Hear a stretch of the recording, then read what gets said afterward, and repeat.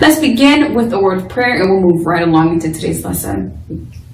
We thank you, Lord, for this time we have to learn and grow. We seek to do the best we can and add to what we know. We love you, God, with all our hearts, and to others love we show. Pleasing you is our goal, not to our lesson we should go. In Jesus' name, amen. Hi, Mrs. Dita here with HeroesMart Homeschool Academy. Welcome to class. It's good to have you here. In today's lesson, we're going to talk about present perfect tense using uh, answering with yes, no answers.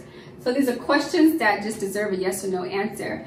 Um, and our weekly fruit of the spirit is self-control. We're in our very final week of our grade two English. It's been really good having you. I hope you've enjoyed it as much as I have. And I thank you for being a part of this um, this grade uh, this grade year with HeroesMart Homeschool Academy. It's been a true honor. But as you're leaving, make sure to ask the Holy Spirit to equip you, enable you, even empower you to walk in self controlled fashion to the glory of God the Father. I believe if you ask him, he'll fill you to the brim with the empowerment to live a clean and righteous and self-controlled life.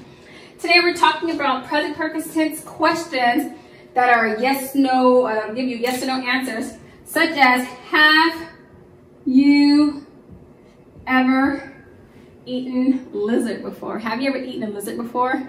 No, I've never eaten lizard. Okay, what about this? Have you ever eaten elephant before? No, no, I've never eaten elephant, neither have I. Okay, try this one. Have you ever eaten alligator before? No, you've never eaten alligator. No worries, I haven't either. Although, here's another one. Have you ever eaten snail? Have you ever eaten snail? No, I think I have taken a bite of it once before and it was so chewy and waxy. I didn't like it. But I know people who eat snails, so they would say yes. You may say yes, you may be saying no, I'm not sure. Okay, let's ask some uh, some uh, questions about, uh, that'll probably get a yes. Have you ever eaten rice before? Yes, I hope so. That's a simple food. Have you ever eaten bread? Yes, yes, I've eaten bread. What about chicken? Have you ever eaten chicken? Yes, yes.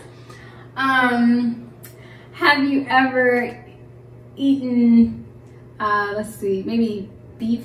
You ever eaten beef? Maybe yes, no, it depends, yeah. Whenever you're asking present perfect tense, you're gonna start with have you, or you know, um, present perfect, just so as a reminder, uh, demands that these particular verbs have and has.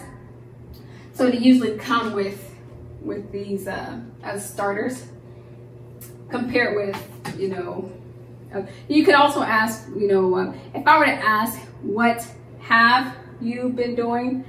Just by adding that what there, you have to answer the question beyond a yes or no answer. So if I say, what have you been doing?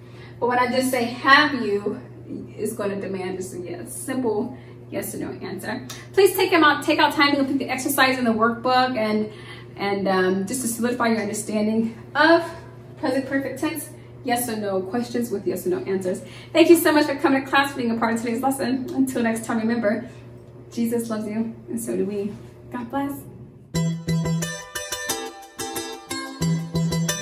I'll be your hero's and as you study with heroes born, I will be your friend.